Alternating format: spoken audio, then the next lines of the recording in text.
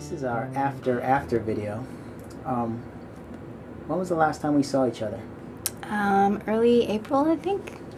Have you done any facial work for the last three months? No. Just using the products? Yeah. Do you feel in the last three months that you just feel like you have more control of this skin problem than ever before in your life? Yeah, definitely. Nice. It looks really good. More control of my oily face, which was always a problem. Even when I wasn't so far breaking out per se or had like lots of bumps on my face, I was always oily. And always by the end of the day felt like I was just kind of like a greasy mess. What is that? I think this looks better than when we discharged it three months ago. Oh, yeah. Yeah. It's really nice.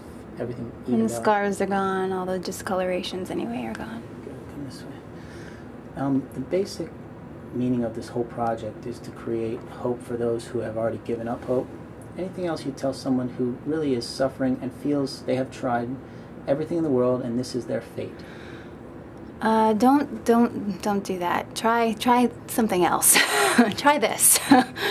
um, don't don't give up. It's just it's just it's such a huge it's a huge problem, and yet it, it, it really shouldn't be.